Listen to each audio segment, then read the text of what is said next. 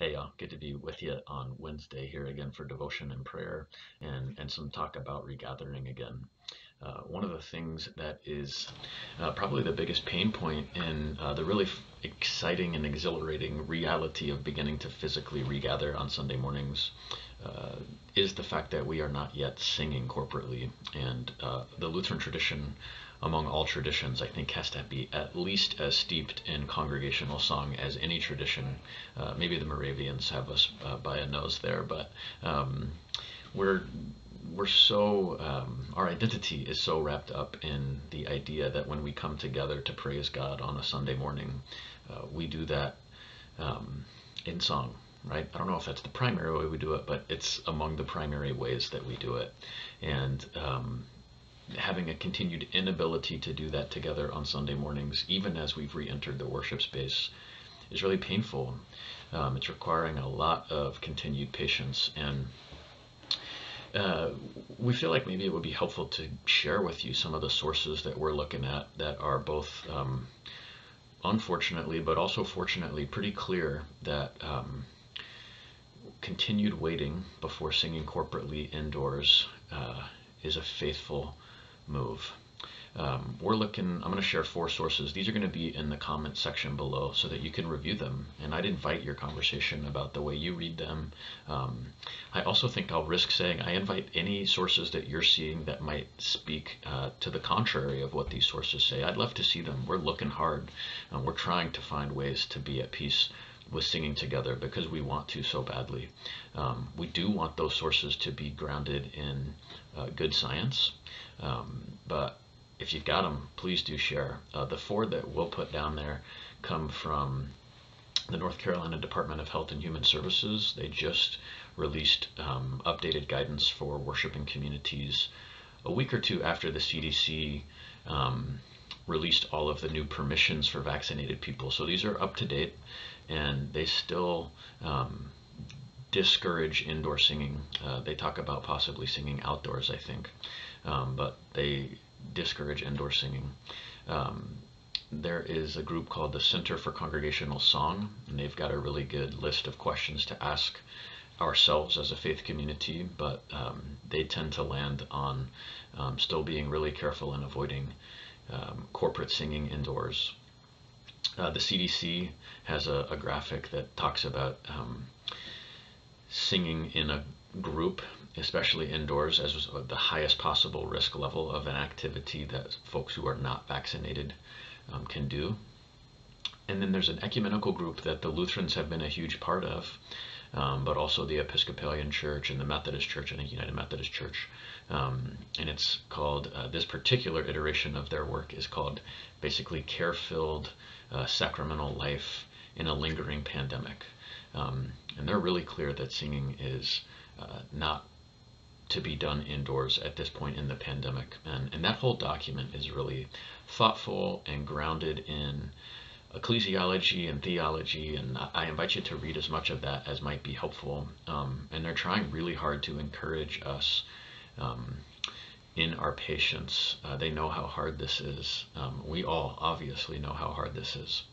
Um, so, just want to say that um, the reason we are not yet doing that, we're asking ourselves questions like, um, how do we create a safe and welcoming environment for the single dad and his young daughter who walk into 11 a.m. worship next week. Um, is it fair to that uh, to those people that they might come into a space where um, maybe unduly risky behavior is taking place when the young girl, let's say she's five years old and she doesn't have access to the vaccine we're also really aware that uh, we have no longitudinal evidence or studies on young kids who get COVID 19. Uh, and there are variants going around and all these kinds of things. So, in the face of all of these unknowns, um, church leadership really feels like, um, especially with the guidance of these four really trustworthy and expert entities, um, it's really hard to not uh, comply with their guidance. Uh, the only reasons we can come up with is because we're out of patience or we want to sing so badly, which are both um, in some ways valid, but we just can't quite be at peace with potentially putting God's children uh, at risk because of our desire to do something um, like that. It's this is a really uh, hard time, and this is a really hard thing to have to wait on.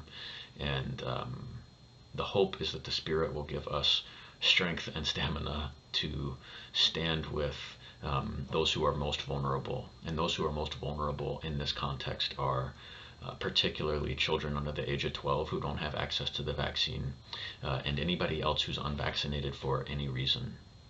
Um, and we know by the numbers that there's quite a few folks out there who aren't vaccinated for whatever reason. Um, so we have to assume uh, a lot of unvaccinated participants are in our worship services, and as such, um, how should we behave? What is God calling us to do and to be about? In our worship. Uh, so again, we're going to put all those links down there.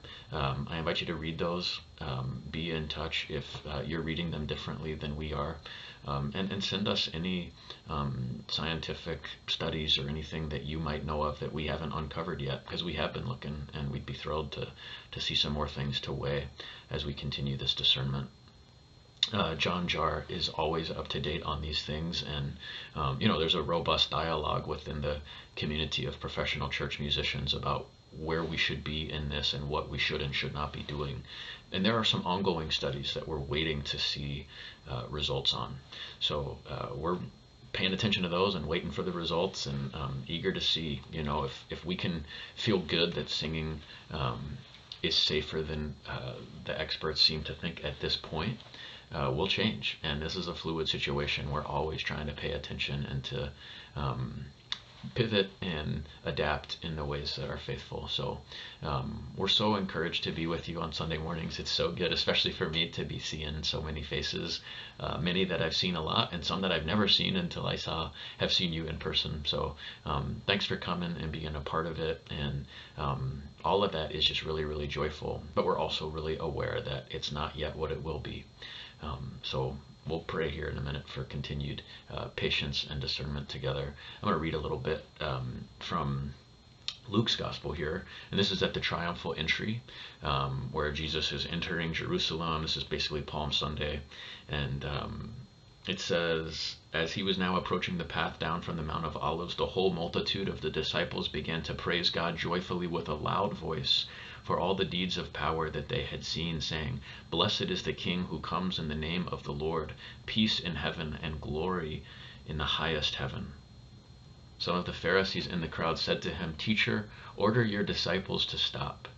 He answered, I tell you, if these were silent, the stones would shout out. That scripture came to me, I think, because I can have a real sense of urgency, like, oh man, God needs our praise.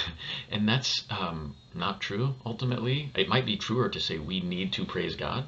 Um, and, and, certainly singing is such a primary way that we do it, but we're continuing to praise God in all kinds of ways um, in our worship services. And uh, that just helps me to remember that God, uh, if God needs song, God can make stones shout out and sing praises to God.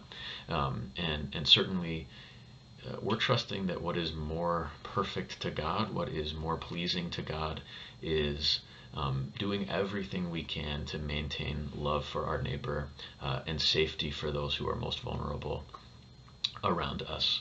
Um, also, uh, was reminded today that you know we can sing in the car on the way home from church. We can sing in all kinds of places in our life. Uh, we can sing in households when we're with people that uh, we know and uh, trust are vaccinated. It's just a different ballgame in a worship service, which is a public setting where we just can't verify the vaccination status of everyone and thus have to assume the presence of unvaccinated folks and the risk that that continues to uh, perpetuate among us. So appreciate you listening to this. Uh, appreciate you hanging with us, and um, again, here for dialogue as we as we continue to go. But really promise you that we are working hard and trying to keep abreast of all the latest information, uh, and we're praying and, trying to follow the Spirit and doing the best thing we know how to do in this place. So uh, let's pray together.